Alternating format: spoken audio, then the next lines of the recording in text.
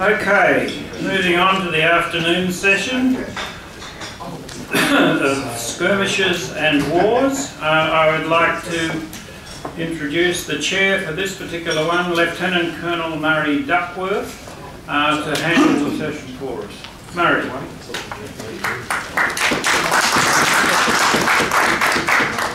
Well, good afternoon, team. Um, first of all, I'd just like to say it's always challenging after lunch, isn't it, to, uh, to take in what's being presented. The second point I'd like to make is that following our technological advances this morning, Jason uh, used to have hair before this morning. so uh, we'll keep up the good work, Jason. Um, look, it's, it's my great pleasure this afternoon to um, introduce Jeff, Jeff Hopkins-Weise. We're moving from admirals and redcoats to skirmishes, and wars. Um, so today Jeff's going to give us a paper on Victorian and New Zealand wars of the 1860s and the Victorians in the Taranaki military settlers and the New Zealand Armed Constabulary. By way of introduction, we have another well-published author, surprise, surprise. Um, Jeff has written um, many publications. He's a professional historian. He has an interest in Australia's involvement in the New Zealand wars, and he's currently an historian with the Community Engagement Team with DVA in Canberra. So if anyone wants a, a bit of a tip on uh, DVA claims, there's a man. Jeff, we, uh, we're very appreciative um, of you coming down today and making this presentation and know that you're well qualified to give us this address. Thanks, mate. Thank you very much. Right, I've just guided on just one down. How, there, how's that? Everyone can hear me well there? Okay, right, uh, let's, let's get into it. Once, look at that, it's working. That's what I like to see. Okay, the so-called Maori Wars during the 1840s and the 1860s saw considerable involvement from the Australian colonies, and no more so than that that emanated from Victoria. Now, today's paper, though tempered by the limited time available, I'm, uh, I'm going to touch on some of the general various support and direct involvement uh, which Victoria provided, but my main focus is to provide you with some glimpses into these two New Zealand colonial units which received significant numbers of colonial Victorians within their ranks, and that's the Taranaki military settlers, both the Otago contingent and the Melbourne contingent components that were recruited during 1863 and 1864, but also the New Zealand Armed Constabulary, which recruited over 200 recruits in Melbourne in late 1868 and early 69. Now, the Australian colonies played uh, pivotal roles during the wars which unfolded in New Zealand, which continued to be forgotten or poorly understood, despite being an important part of, um, I should also say, I should put Craig's book up there, just apologies Craig, that's, that'll be corrected next time I do this. Um, anyway, it, it, it's often forgotten, poorly understood, despite the important part of Australia's military, social, political and economic history that these wars played. And it's also similarly of importance as a, a component of the shared trans-Tasman experience. Now, New Zealand's wars must be considered in the broader context of frontier conflict and the British Empire, but it's really a complex and detailed shared history. Now, throughout 1845-46, Australia became a key contributor to New Zealand's uh, logistic and commissary requirements. Australian stores and arsenals provided a considerable array of weapons and artillery, ammunitions and associated military equipment. Australian garrisons provided over 1,500 soldiers, the 58th, 99th, 96th and 65th regiments for New Zealand service between March 45 and November 1846. These troops were augmented with available Australian-based uh, uh, Royal Navy ships and many sailors and marines who served ashore as part of the Naval Brigade. The Imperial garrisons in Australia therefore provided the bulk of the military force able to be put into the field during the 1840s campaigns. Military assistance from other parts of the Empire took considerable time to be marshalled and arrived late. In the meantime, New Zealand's repeated calls for assistance and the ready and willing responses of the imperial and colonial representatives in Australia met the needs of the immediate crisis. New Zealand Governor Grey's requests for assistance were always met in some form, and his ability to repeatedly to procure and maintain a vast imperial military force was to be replicated upon his return to the New Zealand stage in the 1860s. Now in 1860, war again broke out in New Zealand in and around the settlement of New Plymouth. New Zealand again turned to Australia for assistance. Now these colonies provided a wide range of support which was vital in stemming both the military and the potential military and social crisis that was faced at Taranaki. In the replication of the 1840s complex, complex sorry, Australia became a major source for New Zealand's immediate logistic and commissariat needs. Geographical proximity and the ease of supply enabled Australian commissariat stores and arsenals to supply camp equipment, rifles, revolvers, artillery and an array of munitions and other military equipment. Such war material included stores and foodstuffs to fill the larders of the military forces being assembled in Taranaki, as well as the military horses on which to carry such supplies. Now the departure of portions of the Imperial garrison saw an impetus to existing volunteer movements, and with this came a realisation that a degree of self-reliance and a more long-term planning was essential beyond the short-term immediacy of the Taranaki crisis. Many members of the volunteer movement in the colonies, such as Victoria, also expressed desires to serve, though at this date this manpower potential was not tapped, but it's a clear indication of the support martial fervour that the Australian military settler recruiting missions would elicit during 1863 and 1864, and does account for many of its recruits. Now, Australian humanitarianism saw money and material goods collected for the alleviation of the sufferings of the Taranaki settlers, and although not on the scale of the Taranaki Relief Fund, other Australian colonists contributed to the relief of families of British soldiers sent to fight across the Tasman, who were actually stuck here in the garrison um, towns. Now, Taranaki's war needs also saw many of the available vessels of the Australia Station serve in New Zealand waters, and hundreds of its personnel in turn served ashore as part of the Naval Brigade as did Majesty's colonial ship Victoria and elements of its crew. The Australian colonies, apart from dispatching Australasia's most senior military officer, Major General Pratt, from Victoria to take personal command in July 1860, also contributed uh, considerable supplement to the available forces in Taranaki. And between April and July 1860, over 900 additional officers and men of the Royal Artillery, 40th and 12th Regiments and Royal Engineers were conveyed from Sydney, Melbourne and Hobart for war service. Now, the high watermark of Australian military involvement across the Tasman, though, took place during 1863-64. The Australian colonies again supplied a considerable array of commissariat and logistic material, ensuring the magnitude of the imperial and colonial war machine that rolled through the Waikato, uh, Taranaki and other locations of New Zealand's North Island. Australia's commissariat stores and arsenals again contributed rifles and carbines, munitions, artillery and other associated ordnance material, while the trade in military horses also greatly increased. Armoured river gunboats were manufactured in Sydney to meet New Zealand orders, and existing riverboats uh, were purchased from South Australia. These colonies also contributed naval coal and other stores and services, as well as commercial shipping used for a variety of military and commissariat purposes. Australian pastoralists successfully tendered for meat and cattle contracts from imperial forces in New Zealand, and other colonial enterprises and industries supplied many foodstuffs, military clothing, and other equipment for the war effort, including instruments for the bands.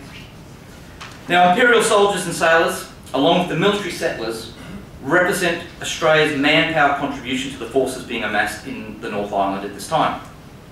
Now, although just over 680 imperial troops were dispatched to assist during uh, August through to October 1863 from Sydney, Melbourne, Adelaide, Brisbane and Hobart, it should be remembered that most Australian garrisons had not yet had those troops that had been sent in 1860 returned, despite Governor Grey's assurances they would.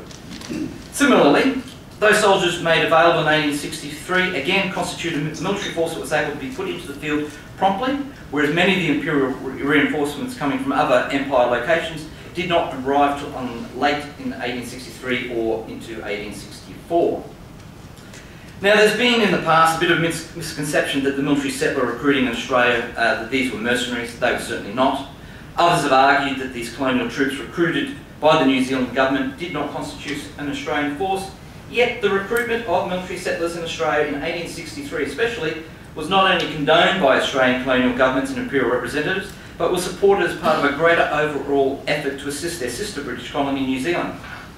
Of course, once in New Zealand, many of these volunteers served in military settler units with distinctive Australian identities, including the Victorian contingent and the New South Wales contingent within the uh, four uh, Waikato military settler regiments during 1863, followed by the Melbourne contingent, which was the largest component of the Taranaki military settlers in 1864. As such, these troops had a direct Australian identification, though of course cloaked as citizens of an empire, and of the estimated 2,500 men who comprised the 1863 and 1864 military settler recruiting missions, many did not serve solely in the military settlers, as hundreds went on to join other colonial units. But apart from the formal uh, Australian military settler recruiting missions, which achieved this 2,500 men, and many with families, especially those who were enlisted in 1864, there is evidence of individuals or small groups departing Australian colonies on their own initiative. It's very hard to ascertain the actual numbers involved, but that could well have included hundreds of additional men uh, for, to cater for New Zealand's manpower needs. Now additionally, it must not be forgotten, colonial Australians also enlisted into the regiments of the British Army in garrison, such as the 40th and 12th in Victoria and New South Wales, as well as were recruited in ports such as Sydney for service aboard Royal Navy vessels, and they too would serve in these wars. Another misconception is that the volunteers raised for the four uh, Waikato military settler regiments were all recruited in the Australian colonies. Colonial Australians actually only make up varying proportions of the individual strengths of each of those regiments, uh, as they did with the separately raised Taranaki military settlers. Now, although exacting figures for Australian enlistments are difficult to determine, it's clear that a large proportion of Australian enlistees are not to be found in the 1st Waikato Regiment, as often believed, but rather the late formed 4th Waikato Regiment, but also the Taranaki um, military settlers. And of course, despite listings of Australia's war involvements, which include the 1885 Sudan contingent or the many colonial contingents to the war in South Africa before our federation in 1901, we nonetheless continue to ignore or downplay the New Zealand wars or cite no Australian casualties. Now my research has previously identified at least 53 Australian-derived Waikato or Taranaki military settlers were killed in action, died of wounds, or died during service uh, during the service through 1863 to 1869. Um, with some of these fatalities occurring while on service with other New Zealand colonial units after leaving the military settlers. And what will interest today's audience especially is that 41 of these men had Victorian origins, which can be included uh, for further individuals who were not military settlers who stayed in New Zealand, but who enrolled in the Armed Constabulary in Melbourne in December 1868, who were shortly after killed in action or died of wounds during 1869. But it is the Taranaki military settlers where some of the most significant numbers of Australian-derived and predominantly Victorian enlisted personnel are to be found. The Taranaki military settlers experienced a wide range of field service, engagements and casualties through 1864-66 on the west coast of New Zealand's North Island, but also on the east coast during 1865-66, and it's among the Victorian-derived personnel where the majority of the unit's casualties occur. If looking just at the late wars period of 1868-69, I've also previously identified at least 14 Australian enlisted or derived armed constabulary fatalities. Most of these had their origins in New Zealand, firstly as enlistees in either the Waikato or Taranaki military settler regiments, and who stayed on in New Zealand and joined the armed constabulary there, following the disbandment of the uh, military settler units in 1867. Six of these men are former Victorian military settlers who had enlisted in either 1863 or 1864, to which we then include those four others who enrolled in Melbourne during December 1868, one of whom, Constable Robert Davis, Although a former military settler in the 3rd Waikato Regiment, who enrolled in Melbourne in September 1863, had returned to Victoria at some stage, um, and in Melbourne in December 1868 decided to again enrol for New Zealand service and would die of wounds five months later.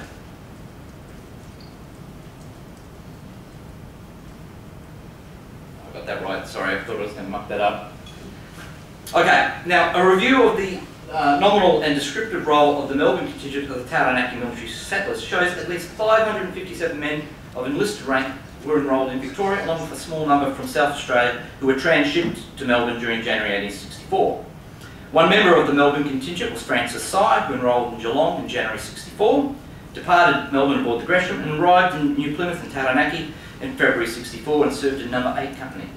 His 1877 confirmation of entitlement for the New Zealand War Medal documented that he'd been under fire on the west coast in actions at Sentry Hill in April 64, the siege of Pipiriki in July 65, and was also a member of the East Coast Expeditionary Force, which included number 8 and 10 companies of the Taranaki military settlers, which saw action at Opotiki in November 65. Now, upon return from the East Coast, the time of service of these uh, Taranaki military settlers had expired, and there was a disagreement over pay and entitlements, and caused many of them to claim their discharge in a bit of a defiant stance, which led them to lose all their land entitlements. Sire was one of these men, so like many other disgruntled former military settlers, he moved on in search of other colonial opportunities, and he's returned back across the Tasman and was resident in Victoria in 1872 when he applied for his New Zealand War Medal. And like many other Australian-derived military settlers, service in the volunteer movement before or after their New Zealand service was also common. He appears to have been involved in the Victorian Volunteers, as indicated on the receipt for his war medal, which was witnessed by Brun at Brunswick by Lieutenant and Brigade Captain James Frisbee Wilkinson of the Northern Volunteer Rifles. Wilkinson himself is a Taranaki military settler veteran. Born in uh, Launceston and Tassie, enlisted in Melbourne in January 64. He also departed uh, aboard the Gresham for Taranaki, so may well have known Francis Sire at that point. Uh, he served number 10 company at the siege of Pipiriki and then in the East, uh, as part of the East Coast Expeditionary Force. And as you can see, there's a portrait of Wilkinson as a lieutenant uh, there wearing his proudly his New Zealand War Medal. Along with it, there's a collection of letters he wrote from the siege of Pipiriki that's in the Australian War Memorial Collection.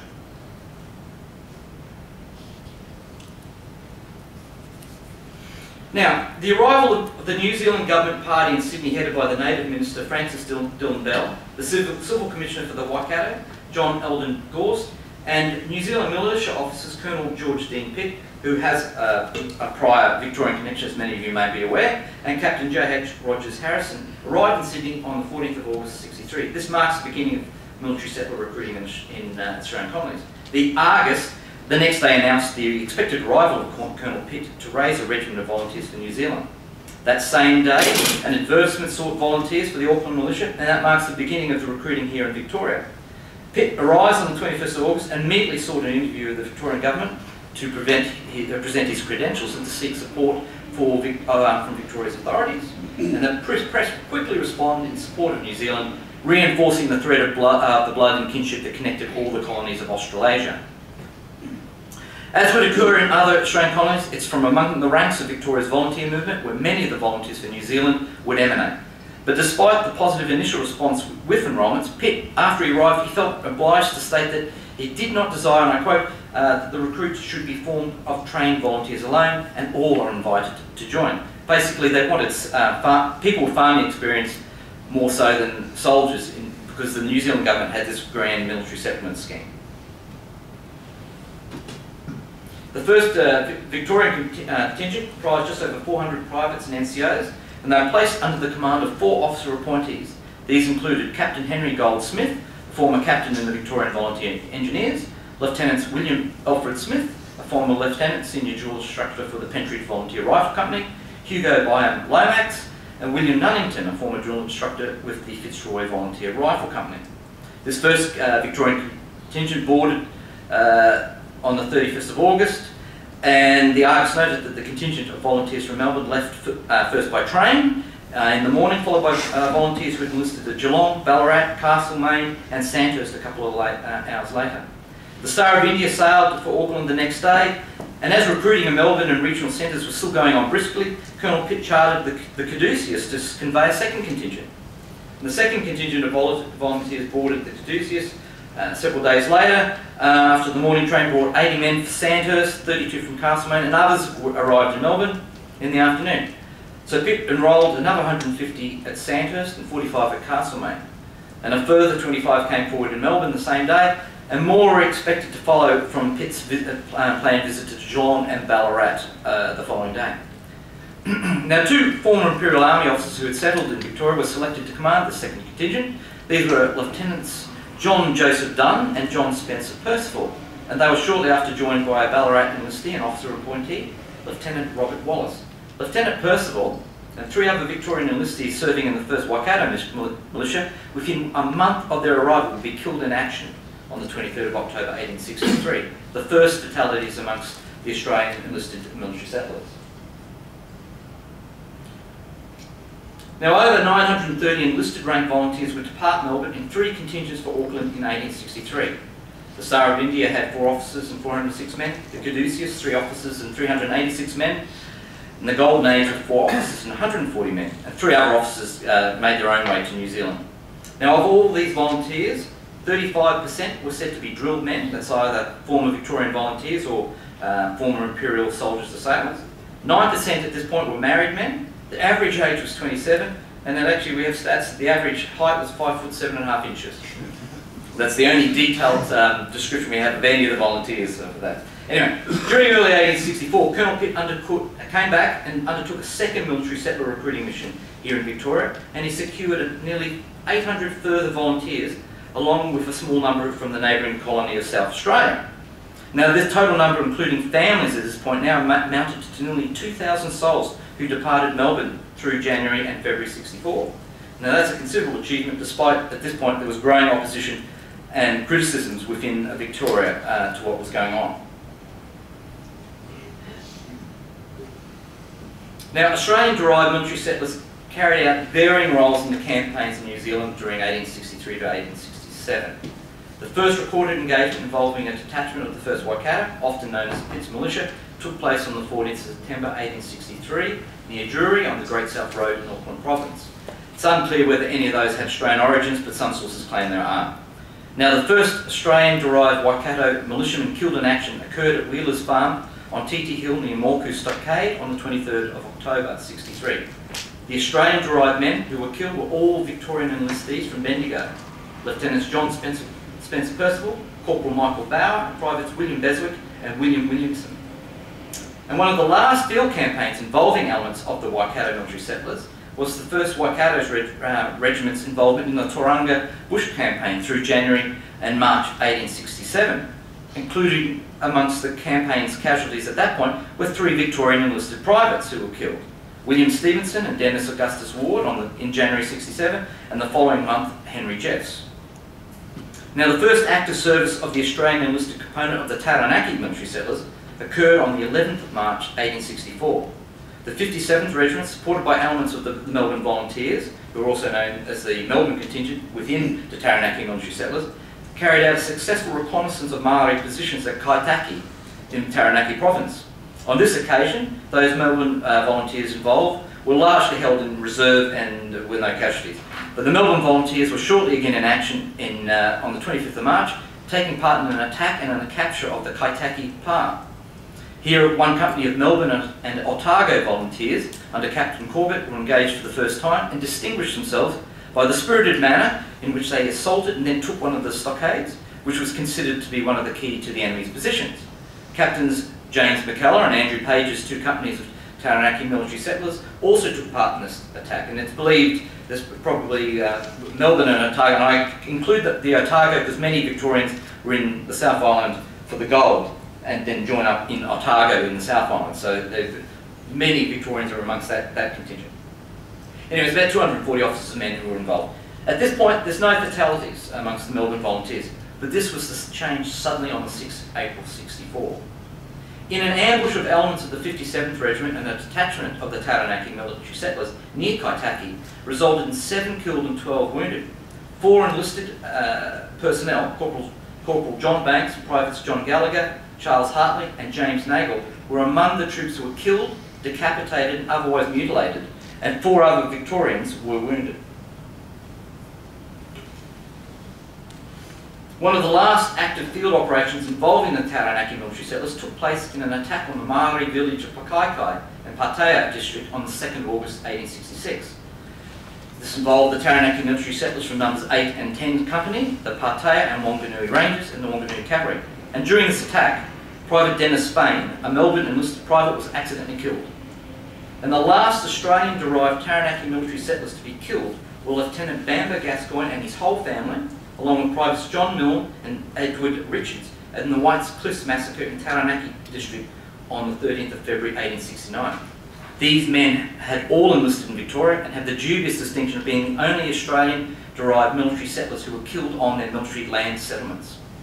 And it must be remembered that many military settlers also served in a variety of other colonial units during the period 1863-67, such as the Colonial Defence Force Cavalry, the Patea Rangers, the Patea Rifle Volunteers, and especially the Armed Constabulary from 8 October 1867 when this force was established. Now in 1868-69, when New Zealand authorities faced apparent crisis on the west coast and east coast, they again sought assistance from Australia. With the events, the military reverses and the so-called massacres elicited much comment in the Australian press. But despite genuine concerns about the events that were unfolding across the Tasman, the Australian colonies would not provide aid in the form or quantity as they had in 1860 or 1863. Nonetheless, there's important Australian involvement through this period. Many former Australian enlisted military settlers continued to serve in New Zealand's armed constabulary and other volunteer or militia forces, and it is from the ranks of the armed constabulary, and especially the Melbourne recruitment of personnel, the last specifically targeted Australian recruits, which continue to prove Australia's important contributions to New Zealand's military manpower needs.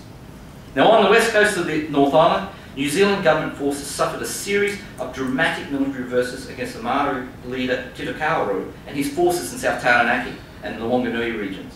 These occurred in engagements at Turuturu Mokai, Te Ngutu o te Manu and Moturoa through uh, July into November of 68. On the east coast, another Maori leader, Te and his followers created similar difficulties for government forces following his escape from imprisonment on the Chatham Islands and initially with several actions in July 1868 in the Poverty Bay, in the Hawke's Bay uh, area. The impact of Te was dramatically reinforced in what became known as the Poverty Bay Massacre on the 10th of November 1868. Now, the news of this growing military crisis was no doubt a stimulus for some of the men who would soon come forward in Melbourne to offer their services, and especially those who already had prior New Zealand military service, or even, as many did, family and friends in New Zealand. Into this scenario appeared New Zealand militia officer Captain William Griffin Stack, who arrived in Melbourne to enlist in the armed constabulary. And despite his recruiting efforts rekindling some of the criticisms earlier levelled towards Colonel Pitt's military settler recruiting endeavours, especially during 1864, Stack's effort uh, were nonetheless an overall success. Captain Stack arrived in Melbourne on the 28th of November 1868, tasked by his uh, New Zealand government to enlist 200 recruits for the armed constabulary.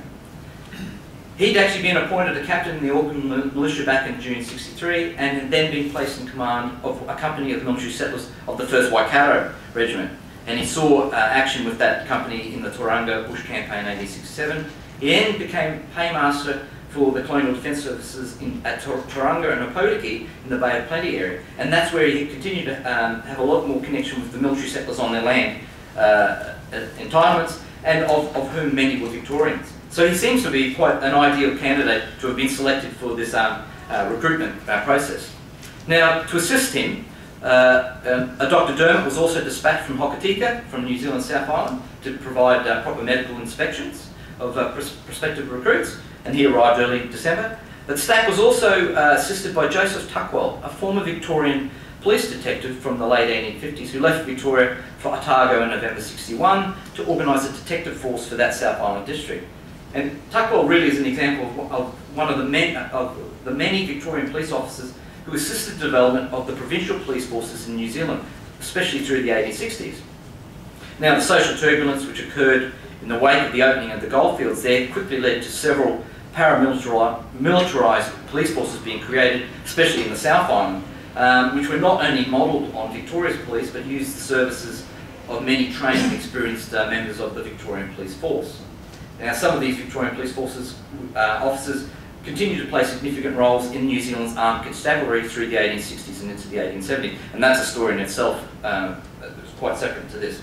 Anyway, Tuckwell's a private investigator. He's there to select the, uh, the, rights, the right men, the right type of men, and this was necessary because the Victorian government had denied Stack any formal recognition or assistance from its own detective force at this time to weed out any criminal elements who might have tried to get across to New Zealand. Now, the Argus uh, Saturday issue on the 5th of December 1868 drew its readership's attention to the full terms, conditions of the armed constabulary, and they will be published in the supplement, uh, the Argus supplement later that day. Now, recruiting would commence at uh, Meagher's Hotel on the corner of Lonsdale and Swanston Street, and those enlisted would embark on the following Wednesday for New Zealand.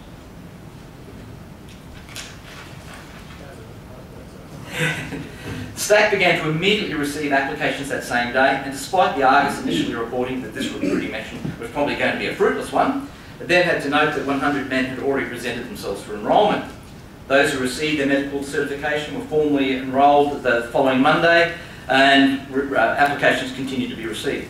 The first contingent aboard the Alhambra left for Wellington on the 9th of December, and it comprised 99 recruits. A second contingent of 41 Recruits departed aboard the steamship Otago on the 12th of November, followed by a third contingent seven, seven days later, uh, with 30 recruits aboard the Rangitoto. Almost there. Among the men who made up the five contingents of the Melbourne recruits were many individuals with prior service in the British Army or Royal Navy, or had already served in various police forces, including the Irish Constabulary, British or Australian volunteer militia units, and those who had already served in New Zealand's colonial forces earlier in the 1860s. One of the men aboard the Rangitoto was William Guthrie, a former Otago contingent Taranaki military settler with Victorian family connection. He had also served in the Patea Rangers during 1865-66 and had been severely wounded in action in September 1866 and he's returned to Victoria, where he has again come forward for service and enrolled in the Armed Constabulary in Melbourne in December 68. In New Zealand, he served in No. 1 Division Armed Constabulary and saw action at Otautu in, on the 30th of March 1869.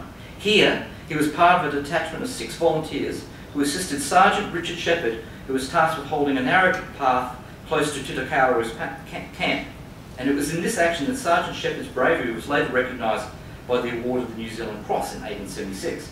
But of the six volunteers involved in action that day, three were killed, and three others, including Sergeant Shepherd, were all variously wounded. And I quote, Corporal Guthrie was struck in the mouth by a spent bullet, knocking out two of his teeth, and he coolly put his fingers into his mouth and pulled out the bullet. Guthrie had already taken part in actions at Nukumaru and Karaka Flats during February 69, and he continued to have a role in the armed constabulary to the 1870s. Now, the continuing, continual trickle of applicants led to a fourth contingent of 90 recruits departing on the Gothenburg uh, late December, and a fifth and final contingent of 16 recruits left on the Omeo on the 5th of January 69. Captain Stack stays temporarily in uh, Melbourne because he's seeking uh, to procure ammunition uh, for the New Zealand government, uh, but he does depart for Sydney aboard the Hero on the 9th of January. His departure actually coincided with that of, the, of an Imperial military party of Major General Sir Trevor Chute, the Commander-in-Chief of Her Majesty's Forces in Australia and New Zealand, and Colonel Hyde Page. Although Chute's visit was reported as merely a routine inspection of the British regular troops stationed in New Zealand, it would seem more than a mere coincidence that Captain Stack, excuse me, Captain Stack was aboard and returning to New Zealand with this party at this time. As the official New Zealand government agent recruiting for the Armed Constabulary, also seeking arms and ammunition, he no doubt had a lot to say to, uh, to the general en route to, to New Zealand. Now at this time, apart from the considerable Victorian public awareness of the military crisis in New Zealand, um, the Victorian government even proposed to send uh, the, the, current garrison of 400 men of the 14th Regiment to New Zealand if it was deemed necessary. And that really just concludes. That's just trying to give you just a touch on a very complex and detailed um, trans-Tasman uh, shared history. Um, and I hope you get a little bit of an understanding that Victoria was a major player in the wars that occurred across there. Um, yeah, so that's it. I would like to thank Andrew and Victorian uh, Military History and Heritage for inviting me and help fund me to get here. So yeah, look, it was a pleasure to be here and, and give, give, give you a bit of word. And also thanks to Craig for profusely thanking me for, I did some stuff once.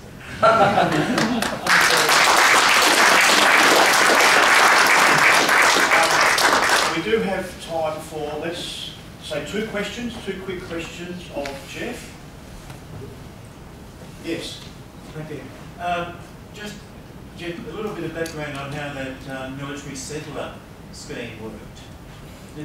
How, long did they have to serve for and what did they sort of... It's usually three years, depending on your rank, was... Uh, there are... that, There's not just one set of um, military settler conditions, there's three different ones. They initially had one that's for the Waikato, um, because you've got, you're serving in different areas, and they eventually realised the government, New Zealand, New Zealand government modified for a general service in, New, in the North Island service. So there's a set time frame, and depending on your rank, say you're a private, you get 50 acres. Um, it was very lucrative for officers, you know, you could be getting several hundred acres.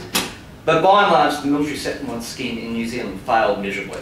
Very few military settlers uh, were able to make a go of it. Part of it is when you actually look at, particularly in 1863, most of the recruits do not have any farming experience. They, they're, they're uh, particularly, say, some, some of the recruits, particularly in, uh, uh, in the South Island, gold is petered out, it's an opportunity, they enlist, service is over, and you know they just they just move on. Um, and that's why you get quite a mix or a return of these military settlers to places like Victoria, or if they're following the gold, one thing you find that they go from, Victor from the Victorian goldfields to Otago, do a bit of military service, might try the thing, and then they'll end up in Gympie in Queensland. So you'll find these veterans all over Australia. Um, but if you look at my book, I have quite detailed um, breakdown of what all the, the conditions were. There's an appendix that covers all that in quite a lot of detail. Yes. So, so, do you, do you have any idea how many uh, Australians went overall and how many were from Victoria?